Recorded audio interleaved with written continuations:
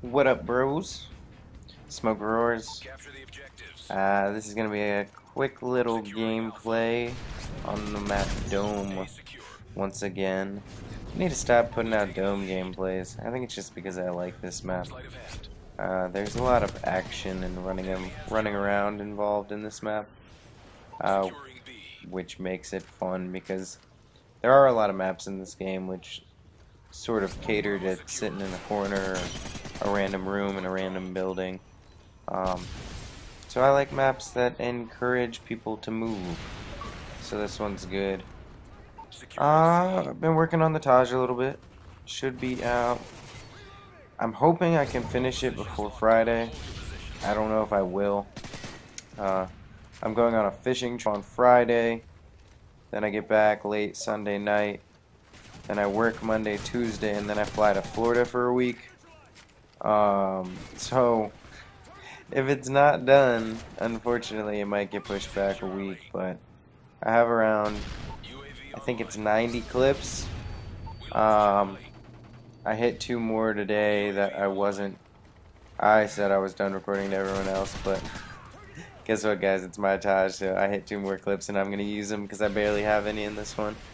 Uh, I took a really long break from Call of Duty, or well, really long by no life who plays Call of Duty standards, but probably not really long to other people. But I didn't play really for I don't know a month, right around there, maybe once or twice in a month. And lately, I've been playing again, and, and it's been fun. Um, I have sort of just been doing whatever the hell I want. I've been sniping a lot. I hit a really dirty clip. Uh, I wish I would just show it to you guys, but it's gonna go in the Taj, you will have to wait.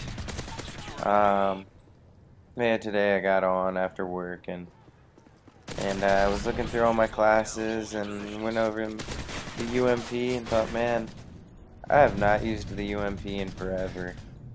And uh, when this game came out, I loved this gun. And it's nowhere near as overpowered as the Modern Warfare 2 UMP was. I actually think it's really balanced in this game. Uh, I always think it's funny when people will rage or send messages when you're using the UMP in this game because let's all be serious. It's at best the third best SMG uh, with the MP7 and PP90 being far better than it. Uh, what it does have is it's probably the closest to an assault rifle that you're going to get in an SMG while maintaining that faster movement speed and everything. Um, and it is the gun that benefits the most from using the range proficiency. Uh, I am using multiple attachments, extended mag, and silencer. Um, but when I get my specialist bonus, I end up getting the range proficiency. Um, so it just handles awesomely, man.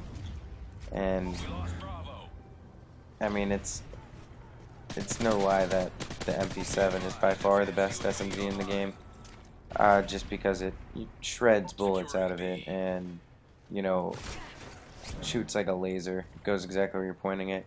The UMP does have a little bit of kick on it, but like I said, using specialist, you're getting kick anyway, so it's really not that big of a deal. Uh, when this game first came out, I always used it multiple attachments with rapid fire silencer. And at one point I had like a thousand more kills with this than any other gun. Now I think it's the MK14. Um,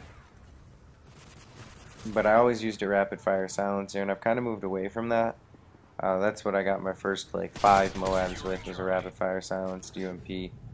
Um, but I've been digging the extended mags. I don't think that uh, I don't think it needs the rapid fire. It, it, it packs a big enough punch to just sort of take care of business. Um, yeah, guys, I figured since I was playing, I might as well show you guys some gameplay that I got. Uh, I had another one that I wanted to show you, and I forgot to record it, and I lost it in theater. um, that's going to be the end of this. Everybody rage quits except this guy after the Moab, so I'm not going to show you guys three kills and one death after this. Later.